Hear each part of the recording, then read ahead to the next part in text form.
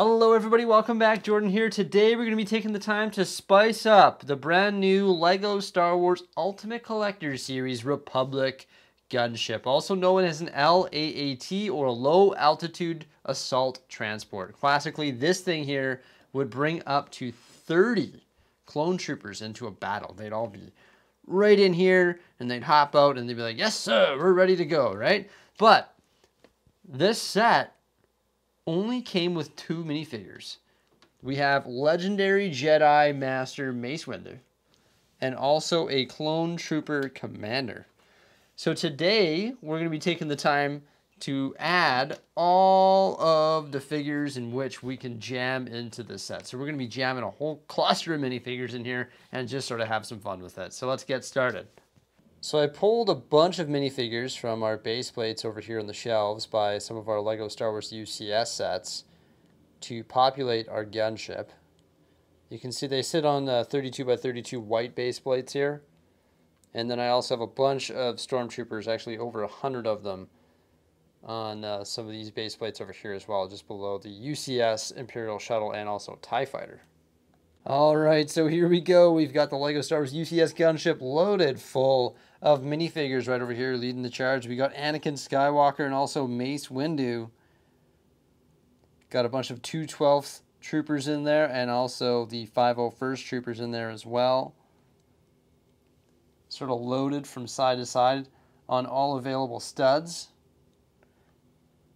Clearly it's not minifig scale, but I think it's a lot of fun to put the minifigures in there, right? There you go. You've also got some in this opening right over here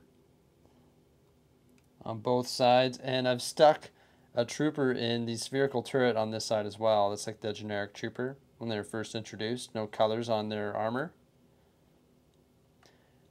And I've got two of the 212 troopers in here in orange. That's actually the clone trooper commander right there from the set.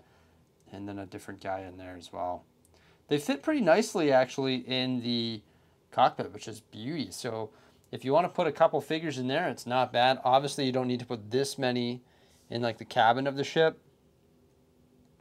It's pretty jammed. Those red tiles there prevent you from being able to fill the space. I could have popped them out to fill it even more. Let's take a look at the other side. So you've got a 501st Trooper in this spherical turret on this side. A little bit difficult to fit him in there. He can clutch onto like the trigger there, the little handle that's in there, no problem. But these guys just fit beautifully once again. They're awesome. Hard to put them into these spheres on the wings. Once again, same on this side.